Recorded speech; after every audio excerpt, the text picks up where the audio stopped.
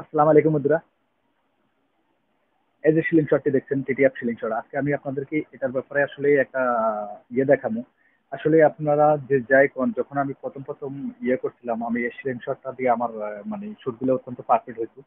কিন্তু আপনাদেরকে আমি আজকে একটা কথা বলব, যে আপনারা যারা নতুন আছেন, যদি মানে ওটিটি ওটিটি দিয়ে যদি আপনাদের যদি শুট না হয়, আপনারা কার্ড দিয়া কার্ড দিয়ে করেন যে টিটিএফ সিলিং শট বানাইতে পারেন। আমি হয়তো নেক্সট ভিডিও আপনাদের সামনে কীভাবে টিটিএফ সিলিং শট বানায় সেটা নিয়ে আপনাদের সামনে হাজির হব।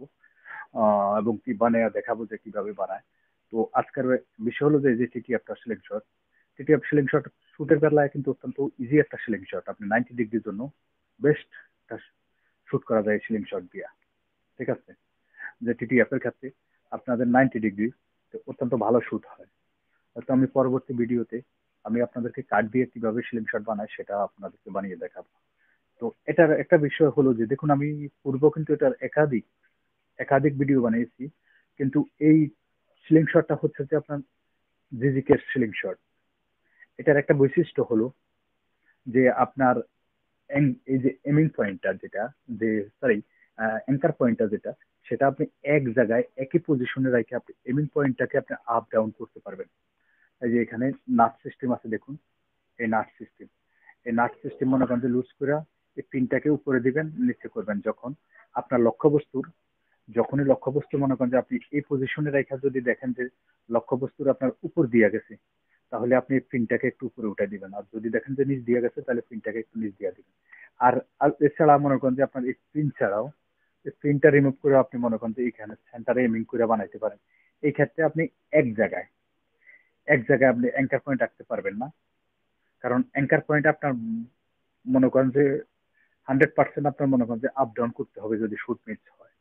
আর এখানে হচ্ছে যে এমিং পয়েন্ট একই জায়গায়। এখানে এমিং পয়েন্ট কোনো অন্য দুই জায়গায় মানে মনে করেন যে উপর নিচে এটা করা যায় না। একই জায়গায় সেন্টারে এই যে সেন্টারে একই জায়গায় সেন্টারে আপনারা এমিং পয়েন্ট করবেন। কিন্তু এটার একটা বিষয় হলো যে আমি আবারও যে গ্যারান্টি সহ বলতে পারি যে যারা নতুন লোক, তাদের জন্য টিটিএফ বেস্ট একটা স্লিং শট নাইনটির জন্য যারা শুট করে নাইনটি ডিগ্রিতে, তাদের জন্য অত্যন্ত ভালো একটা স্লিং শট এই যে দেখুন, আমি এমিং পয়েন্ট ছাড়া দুইটা শুট করে দেখাই, তবে হয়তো বা আমার অ্যাঙ্কার পয়েন্টটা ওখন মনে করেন যে অ্যাডজাস্ট করতে একটু সময় লাগবে। জাস্ট আমি দেখাচ্ছি আপনাদেরকে।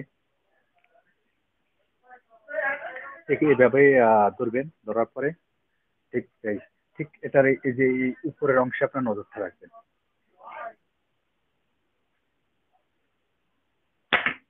এই যে, এটা পারফেক্ট মানে আপনি একবার অ্যাঙ্কার পয়েন্ট যখন পেয়ে যাবেন, তখন মনে করেন যে আপনার শুট মিস কম হবে। এই যে দেখুন।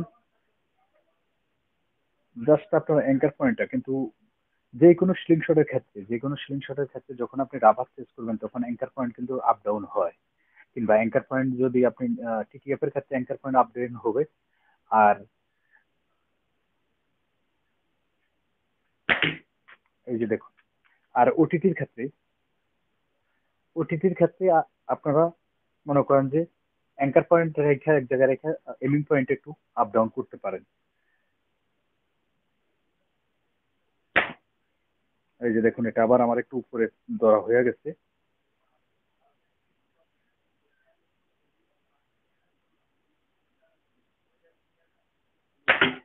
এই যে দেখুন ওকে এখন কথা হলো যে, এটা যখন আমি লাগাবো, তখন আমার এমিং পয়েন্টটা আমি এমিং পয়েন্ট দিয়ে অ্যাঙ্কার পয়েন্ট সেম পজিশনে রেখে আমি এমিং পয়েন্ট অ্যাডজাস্ট করে নিতে পারি।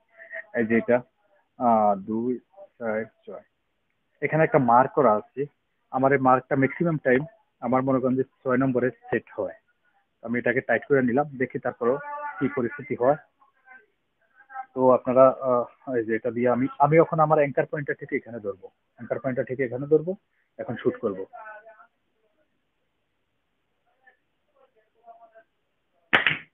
এই যে তার মানে ছয় নম্বরে আমার এটা পারফেক্ট মানে যদি আমার এই ছয় নম্বরটা একটু চেঞ্জ হবে তখন যখন আমি রাবারটা রিমুভ করে আবার নতুন করে বসাবো তখন হয়তো একটু আপ ডাউন চেস করতে হবে।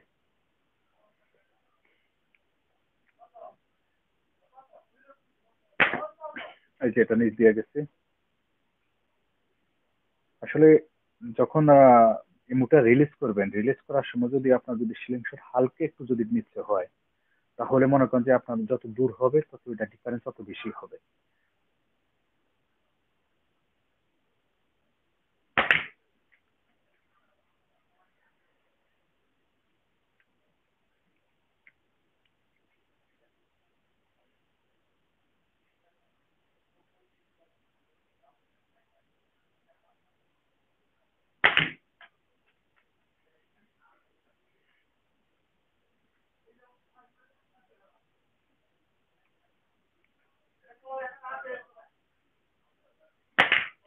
এই যে দেখুন পারফেক্ট পারফেক্ট শুট মনে করেন যে আপনাদের।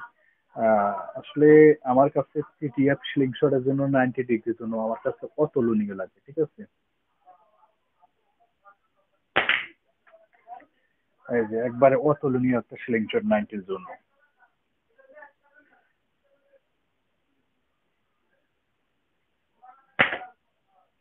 একটু হালকা লাগছে। যাই হোক আর আরেকটা বিষয় আপনাদেরকে দেখাচ্ছি। এই যে এই টিটিএফ যে স্লিং শটটা আপনারা দেখছেন, এই টিটিএফ স্লিং শটটা দেখুন, এটার একটা বিষয় হলো কি, এই যে দেখুন, এটার এই টিটিএফ এর, এই যে দেখুন, এই যে এখানে রাবার যে বাঁধার যে সিস্টেমটা আছে না, এই সিস্টেমটা হচ্ছে যে ডাবল ক্রস মানে তিন পার্ট দিয়ে সেন্টারে বাঁধা হবে। যেমন যেমন ওটিটির ক্ষেত্রে, এই যে মনে করেন যে সেন্টারে বাস করে ভাঙি। সেন্টারে বাস করে ভাঙি কিন্তু এটা তিন ভাগে। এই জন্য আপনার ম্যাক্সিমাম ওটিটি স্লিং শটের ক্ষেত্রে আপনার ম্যাক্সিমাম রাবারে কিন্তু মনে করেন যে আপনার বেশিরভাগ এই যে এই যে আপনার পাউন্ড যে লেদার আমরা বলি, এই লেদারের গোড়াটায় মনে করেন যে ড্যামেজটা হয়। কিন্তু এই রাবারটা আছে না এটা দিয়া আমি জানি না আপনারা কতটুকু বিশ্বাস করবেন, আমি না হলেও তিনশোর উপরে শুট করছি। তিনশোর উপরে। এই যে দেখুন, এটার, এখানে কিন্তু হালকা একটু ড্যামেজ হয়েছে। কিন্তু এখানে এখনও, এই জায়গাটা এখনও মনে করেন যে পরিপূর্ণভাবে আছে। এখনও পরিপূর্ণভাবে আছে। ঠিক আছে? এর জন্য আপনাদের এখানে যে এই এর যে বাসটা, এই বাসটার জন্য রাবার আছে না? আপনার এই রাবারে ওটিটির চেয়ে এর রাবার লাস্টিং করে বেশি। এই যে আরেকটা বিষয় দেখুন আপনারা। আপনারা আরেকটা বিষয় দেখুন, যে এই রাবারটা আছে না, যে চুপ চুপ যে একটা দাগ পড়ে, কিন্তু এই সিলিংসরের ক্ষেত্রে চুপ চুপ দাগটা পড়ে না। এই যে দেখুন, সম্পূর্ণ ফ্রেশ রাবার ঠিক আছে? তো বন্ধুরা, আমার এই টিটিএফ সিলিংসরের ক্ষেত্রে যে এটার বিষয়ে আপনাদের কেমন লাগল, এবং কি আমি যে শুটগুলো দেখলাম, আপনাদের কাছে কেমন লাগল ইজি লাগল কিনা, সেটা আপনারা আমার কমেন্ট বক্সে জানাবেন, এবং পরবর্তীতে আপনারা যদি চান তাহলে আমি পরবর্তীতে মনে করেন যে আপনাদের সামনে কার্ড দিয়ে কীভাবে টিটিএফ সিলিং শট বানায় এবং কি আপনার মনে করেন যে কীভাবে এমিট করে সেই ভিডিও নিয়ে আপনাদের সামনে হাজির হব। তো সেটা হচ্ছে যে আপনারা অবশ্যই অবশ্যই আমাকে কমেন্ট বক্সে জানাবেন। তাহলে আপনাদের কমেন্ট দেখা, তারপরে আমি ওটা থেকে একটা উৎস হয়ে আপনাদেরকে জানাব। তো আজকের ভিডিও এ পর্যন্ত। পরবর্তী ভিডিও দেখার আমন্ত্রণ রইল। হ্যাঁ আরেকটা বিষয় যে আমি, আমার কিছু অডিয়েন্স আছে ইন্ডিয়ান তো এটা আমার ম্যাক্সিমাম টাইমে বলে যে এগুলো উর্দুতে একটু বলার জন্য যার ফলে আমি এবং কি পাকিস্তানেরও আছে যার ফলে আমার কিছু সময় উর্দু নিয়ে ইয়ে করতে হয় तो दोस्तों अभी मैंने आप लोगों वाले ये कह रहा हूँ जो देखिए मेरा जो ये ओ है ना इसी से मेरा पास ये जो शिलिंग शॉट है ये मुझे अच्छा लग रहा है ये टी है ये शिलिंग शॉट में आपको रबर जो है ना रबर ज़्यादा खराब नहीं होता है ये ज़्यादा जो है ना अपने रबर इस्तेमाल कर सकता है देखिए, इसी शिलिंग शॉट से मैंने तकरीबन, इसी रबर से मैंने तकरीबन तीन सौ से ऊपर शूट किया था। अभी तक इधर देखिए, अभी तक इधर कितना मजबूती है। मजबूती है। और ये जो है ना, ये सेंटर में जो है ना, तीन तरफ़ करके इसको बांधना पड़ता है। और ये जो है ना सेंटर में एक तरफ़ मतलब सेंटर में ऐसा बैंड करके इसको बांधना पड़ता है। तो इसलिए इसको इधर जो है ना थोड़ा सा डैमेज जल्दी होता है, ये जो है ना, ज़्यादा टाइम रुकता है। तो रबर ज़्यादा टाइम जो है ना इसी शिलिंग शॉट से सॉरी इसी शिलिंग शॉट से, ये शिलिंग शॉट जो है, इसमें रबर ज़्यादा टाइम जाता है। और इसमें जो 90 डिग्री जो इस तरीके में जो शूट करता है ना, इसी तरीके में, ये बहुत आसानी से शूट होता है। ये बहुत आसानी से शूट होता है और इसका एक ही तरीके में शूट होता है। ये वन एटी डिग्री नहीं होता लॉन्ग शूट नहीं होता। इसको छोटा रबर से जो है ना ये सेम शूट करना पड़ता है। ठीक है? तो अभी मैंने जो दिखाया है, वो अभी आप लोग ये बातों में समझ जाइए।